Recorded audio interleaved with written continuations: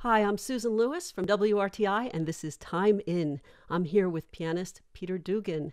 Peter is a pianist who plays multiple genres and is also the host of NPR's From the Top. Hi, Peter. Hey, Susan, how are you? I'm great. How are you doing? Fantastic. I mean, as well as as well as anyone can be doing right now, I guess, but hanging in there. Right. Well, I'm so happy to meet you, and you have some great videos on your website which show a whole lot of different interests. How did you get from growing up in Upper Darby, Pennsylvania, to where you are now? Ooh, it was a journey. I I had a musical family, though there weren't professional musicians, but I was the youngest of, of three boys, and, and my older brothers played. And I went to the settlement school in Philadelphia, and I always knew it's what I wanted to do, and was fortunate enough to get into Juilliard and moved up to New York, and uh, and I've been in New York ever since. That's where I am now. Uh, this is my music room here on the on the Upper West Side, and um, yeah, but growing up, you know, listening to RTI in the car with my with my family is uh, I'll never forget those memories. So this is pretty wild for me to come full circle like this. Wow. Well, there's an adorable picture of you on your Instagram with a red cummerbund and bow tie and a conducting baton. Yes, that must have been third or fourth grade um, when I was part of the singing group at the public school in Upper Darby and um, we had some concert or event, and the director of the group, you know, said I could conduct the the group for one song. Well, now pre-pandemic, you've been busy performing in recital, in chamber music. You recorded Ives' Fourth Symphony with Michael Tilson Thomas and the San Francisco Symphony at the end of, I guess, 2019, somewhere around there. Yeah, it, it was released right at the end of 2019. Right, and I I listened to the podcast of uh, a program you did on From the Top with Vijay yeah. Gupta out yeah. in uh, California, which I understand was the last program you were doing before everything shut down. That's right. That was the first week of March in LA in Beverly Hills at the Wallis Theater. And Vijay Gupta is one of our recurring co hosts uh, on the show. And it was our first time getting to play together. And just such a memorable experience being on stage with him and with amazing young musicians, as is always the case with From the Top. Uh, but yeah, it was. We were just starting to realize that maybe things weren't going to uh, stay the same for a while. You just we were becoming more aware of what was happening with the virus. So that was the last time we we filmed or, or taped in front of a live audience, and we actually had the Los Angeles Children's Chorus come on stage, and uh, they sang over the rainbow, and it was just such a beautiful moment, um, and so something that we we are so missing right now. The the the presence of a large group of musicians, all all creating one sound together. Um, so so it's yeah, it's quite special. And then after that, I went to South Carolina uh, to the Aiken uh, Joye in Aiken Music Festival, where my wife and I were performing, and we we had our last concert on Friday the thirteenth of March. Wow. And um, and it was already by that point we knew that this was going to be the last one because everything else had been canceled. Wow. So then you went back to New York? Yeah, we flew back to New York on the 14th. The the airport was already sort of a ghost town and we we hunkered down here for for a very long time. We still have been. I've traveled a couple times. It's been, you know, simultaneously scary and also um, exhilarating to kind of get the taste of what it's like back uh, back out on the road. So, what's life been like for you at home, or what was it like initially when before you started traveling again? Well, the first week felt like an eternity. I don't know if you remember that, but I remember um, thinking by you know Wednesday or Thursday of that first week, wow, it's all, it's been three days, and we just the scale, the sense of scale was so off. Um, given how how extended this whole thing has been. But yeah, so we started doing puzzles on day one, um, and then after a couple days, I felt you know I need to start being creative. Um, not need to, but I actually wanted to. One of the things that I w- was reflecting on at that time is how my schedule had been so busy in terms of touring and and preparing. Mm-hmm. My my career is so all over the place that I end up having so many hours and hours of, of repertoire that I have to perform in a short, very short period of time. That so much of my time is is dictated by what concert is next. So I'd really been missing this idea of allowing my creativity to just kind of go wild. Um, so that's for me. That's really what the early days of the pandemic were about. Was kind of allowing myself to just be freely creative. And so that's where I started doing, you know, various like multiples of myself and in all sorts of genres and um, just just weird things that that made you know it was fun for me. It was what I missed about um, not having more time. So uh, and then uh, from the top, fairly early on, decided that we needed to continue to make shows.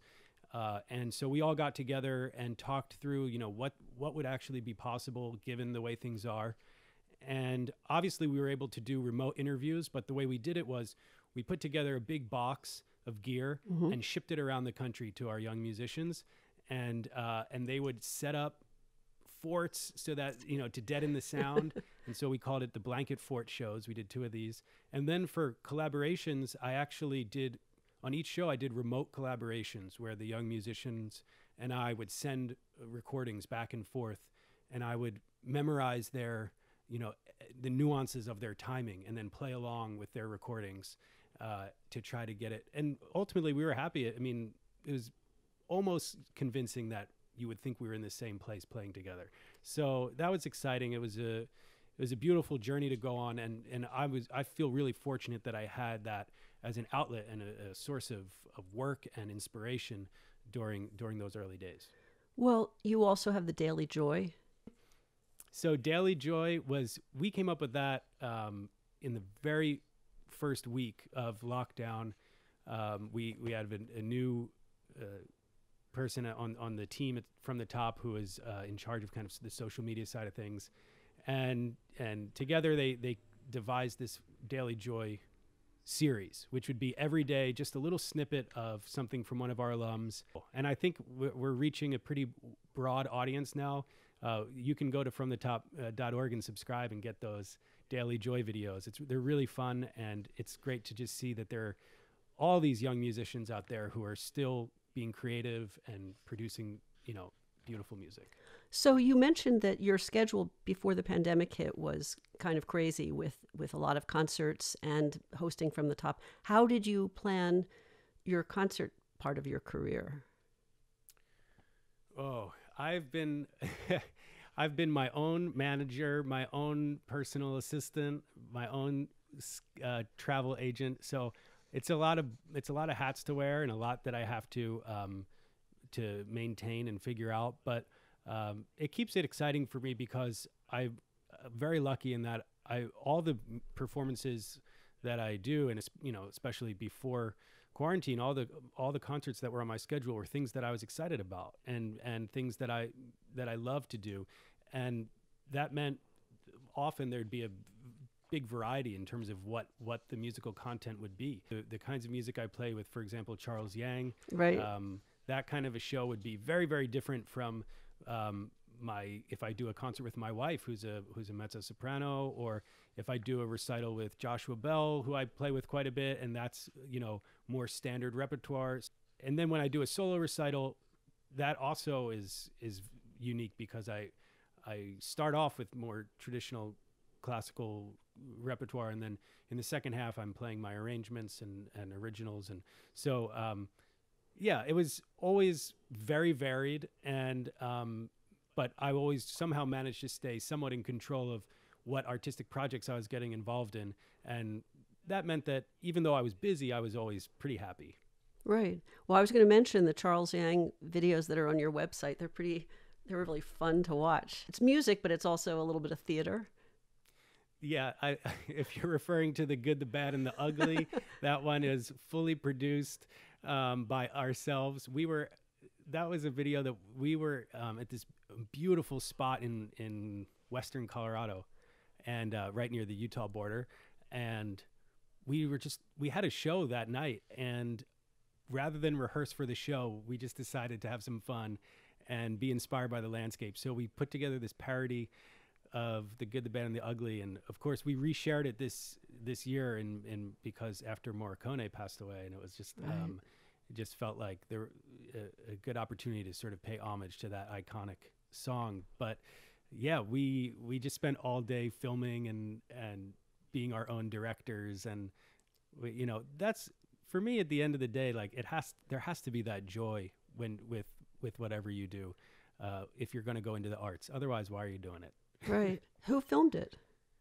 we filmed each other, planned out the shots, and then he'd say, "Okay, now I'm gonna play, and then you film me." And then so we we recorded the music separately, and then we you know like a music video would be would the way a music video would be filmed, and then um, for the wide angle we just put it on a tripod and and had our duel. So Right. Well, it was super cool and super fun. so, did, have you during this pandemic period? I mean, it's, it's your wife, you and your wife work together, and have you started doing things that you hadn't done before? Did you uh, go out and buy a rowing machine, or start start some new exercise habit or cooking habit? uh, we've definitely been cooking more, which has been a great uh, joy, and we've been we are very lucky to have a, a, a rooftop space. So we go up there and we we got into gardening, especially Kara, uh, my wife, and so um, in the early part of the summer, late spring, um, we we bought a bunch of seeds and got to watch pepper plants grow. And just last night we we were eating these like stir fried peppers that we we planted them just as seeds. And that was pretty cool to experience that. And we'd never done anything like that before. The other thing for me is that just getting into the tech diving sort of diving in the tech world. My dirty secret which now everyone knows because i've been telling people this is that i didn't have a computer You d- until until the third week of march i did everything on on my ipad uh, uh, it was just more you know easier to, to transport and i could do almost everything I needed to. And we had a very old laptop that was hardly functional.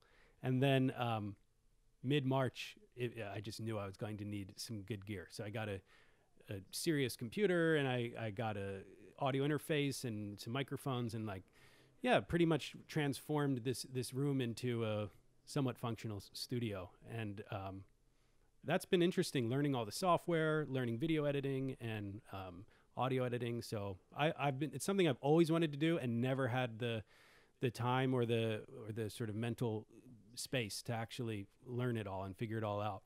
Uh, that's been very fun for me. Wow.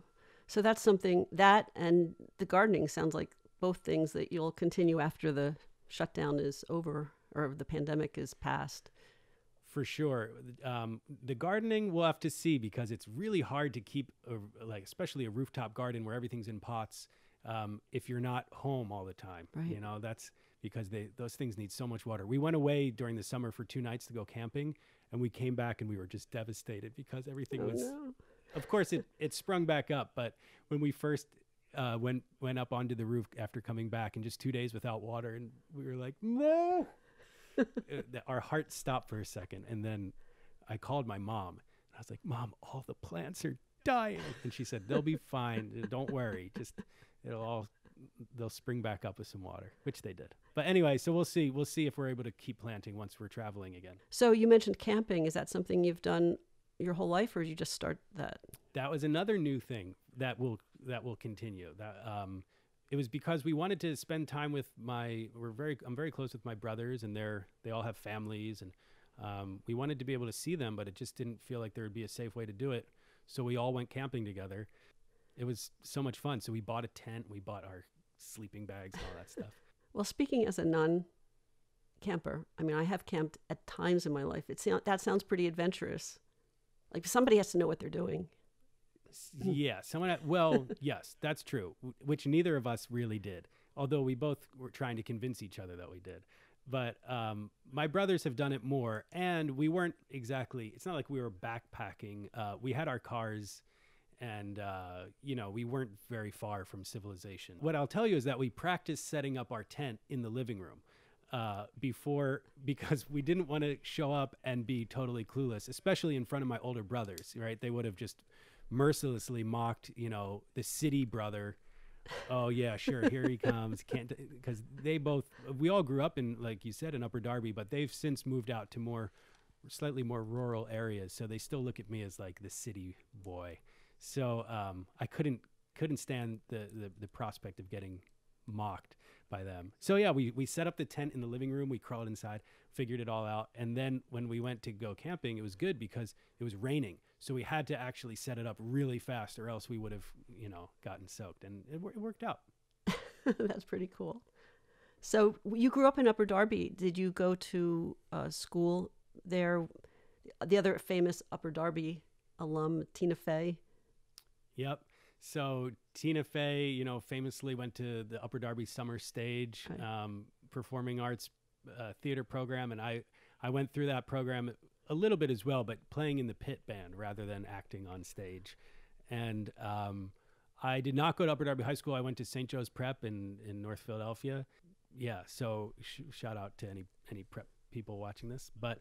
Um, yeah, I, I, you know, always went to see shows at the Upper Darby Performing Arts Center. It's a great resource, and we would go every summer to the summer stage, and I would see the Philadelphia Orchestra there when they would come. They would go there fairly, at least in my mind, it was fairly frequently.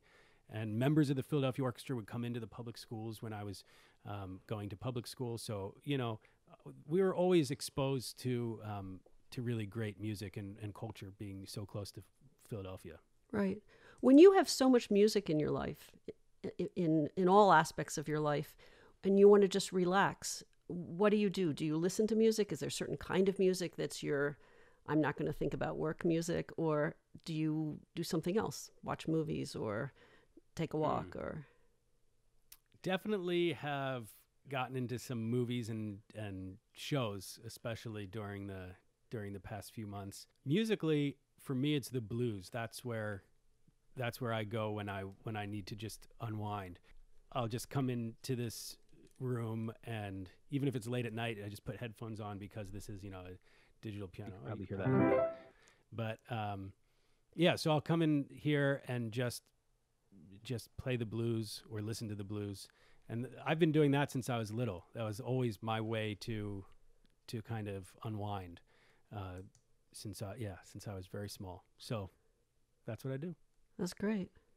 That's great. Well, what do you think drives you in this existence that you have, and what are you looking forward to as things open up again? Hmm. What drives me? Um, creativity and exploration, musical exploration, is a huge uh, excitement for me, uh, and that can take many forms um, learning new repertoire, you know, that kind of thing. Any kind of active discovery uh, is hugely exciting to me and drives me and keeps me going. Collaboration keeps me going. Um, so whether that's with my peers um, or or with uh, the young musicians on From the Top, the actually the the collab the art of collaboration is a huge inspiration for me because you you bring all of your own energy to something and then you discover a wealth of other energy that you can bounce off of.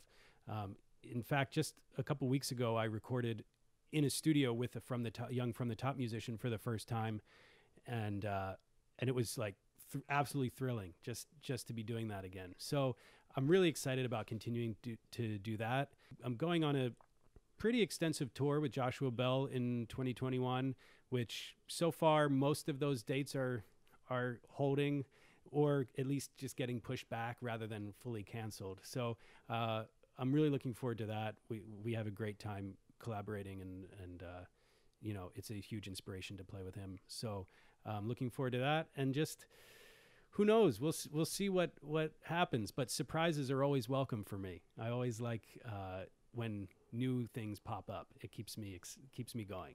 Well, maybe working with kids a lot also fuels that sense of surprise because you never you never know. Mm. What have you learned from working with these kids? Now you were oh. you were an alum as well, so yeah. Um, what's it like to now be a host and work with all these kids?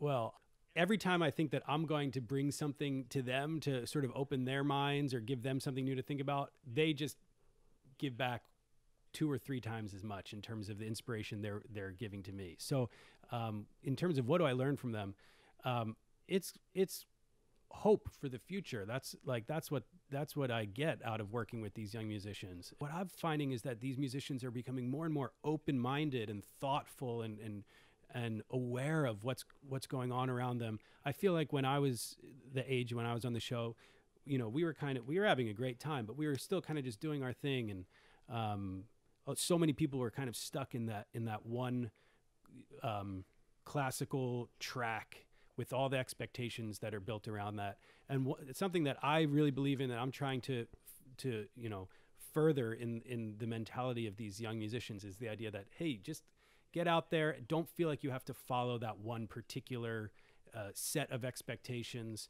Um, the the industry is changing. The career options are changing. Uh, all your doors are open, and uh, and they're great. These young musicians are amazing. If you don't listen to the show, listen to it because they're they're truly a source of inspiration. Not just the way they play, but the way they think about the world. Right, and kids seem more resilient than you might think. So when a we have this, this kind of a crisis, they seem to go with the flow. Yep, they they they accept it for what it is, and then they say, you know what, how can I make the most of this situation that I'm in? And uh, that's we all that's what we all need to be doing. That's great. Well, thank you so much, Peter, for sharing your thoughts with us. Absolutely, it's it's a pleasure, and um, I, I'm really happy to be talking especially to WRTI, this the station that I grew up listening to. Great. Well, thanks so much, Peter Dugan. Thank you, Susan.